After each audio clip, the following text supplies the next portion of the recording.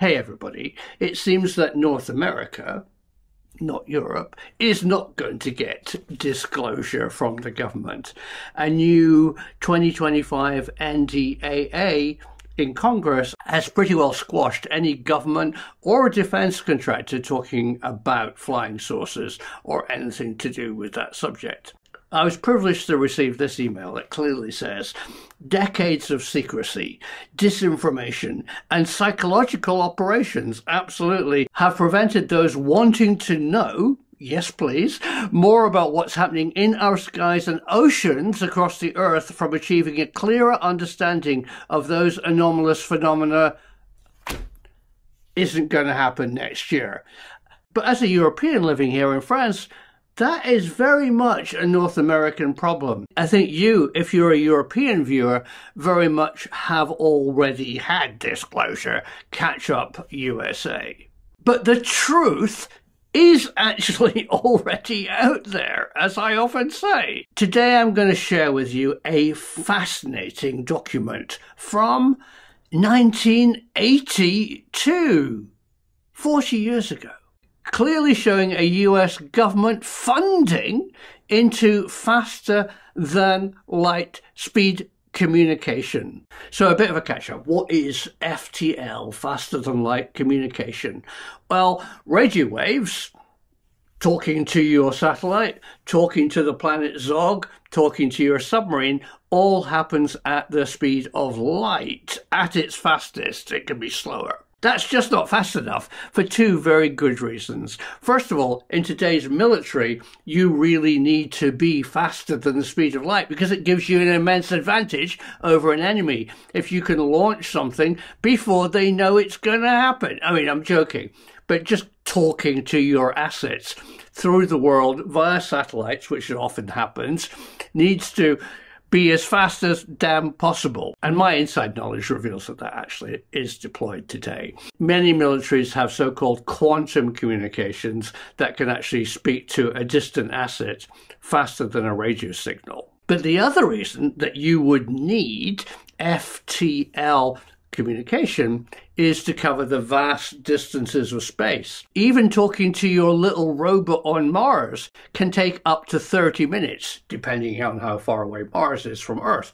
And that varies. Just imagine you wanted to reply to an alien civilization that's maybe 20, 100, a thousand light years away. Well, hang on a minute. A thousand light years means a radio message would take a thousand years to get there, and a thousand years. I mean, it's just not practical. But we're all told, a bit like fusion reactors, it's all 30 years in the future. Well, I don't think it is. But today I'm going to share with you something rarely seen an internal American, CIA, DARPA government document that clearly shows funding for faster than light quantum, bad word, communication actually was underway in 1982. Should the experiment yield positive results, an immense market exists for pair correlated photon generation. Research for this device has been conducted. No organization presently manufactures such devices. These devices would be miniaturized for commercial use. The Dr. Sarfati pair-correlated photon switching devices are capable of operating faster and at greater capacities than used in the current state-of-the-art computers and communication systems. Specific applications include the devices would eliminate the present requirement for subminiaturization and supercooling. The devices would provide elements capable operating faster than currently used silicon chips. Military secure communications, unjammable and untappable, could be provided the military and command control communications for submarines, early warning, NASA deep space probes, and in key elements of the Strategic Defense Initiative now under consideration in Washington. Certain defensive weapon systems that would obsolete the need for nuclear weaponry. Other improvements could be made in spin resonance medical diagnostic instruments, in molecular design of pharmaceuticals, and in genetic engineering. New quantum telescopes could be developed as well as potentially new superphysics energy sources, zero-point vacuum phase transitions. Jack says that if in fact we can control the faster-than-light non-local effect, it would be possible, using something like the molecular dissociation approach to make an untappable and unjammable command control communication system at very high bit rates for use in the submarine fleet. The important point is that since there is no ordinary electromagnetic or acoustic signal linking the encoder with the decoder in such a hypothetical system, there is nothing for the enemy to tap or jam. The enemy would have to have actual possession of the black box decoder to intercept the message. The device reliability would not depend on separation from the encoder and not affected by ocean or weather conditions.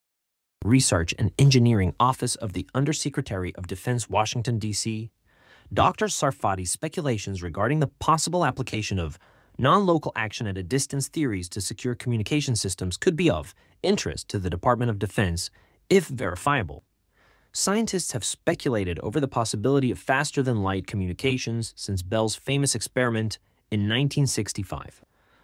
Dr. Sarfati's latest findings and conclusions along these lines would aid our determination of the potential benefits offered by this research and in arranging for any appropriate further discussions. Thank you very much for your interest in the research and development programs of the Department of Defense. In April 1985, an American theoretical physicist completed final work on a theory which, if proved in laboratory tests, alters the fundamental scientific interpretation of quantum mechanics and our general understanding of the universe. His calculations represent the next logical step in the theoretical physics work of Albert Einstein, Boris Podolsky, Nathan Rosen, and David Bohm.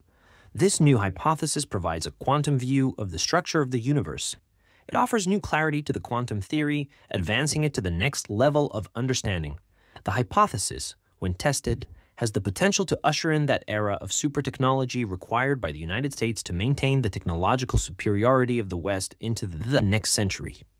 The impact of the inventions resulting from this new approach on the economic, political, military, intellectual, religious, social, and scientific levels of society would be profound. The physicist has also conceptualized the first two basic devices, representing the practical, economic application of the hypothesis. Patent work is underway for both devices. The Quantum Research Development Corporation was organized in March 1985 to harness the economic and strategic potential offered. Sarfati hypothesis holds that there is a faster than light superluminal action at a distance effect that can be harnessed for practical use in communication systems. Oh, that was very, very interesting. It just means that if they funded it and looked at it in 1982, now in 2024, it's been deployed. I guess documents like that reveal that the truth is out there.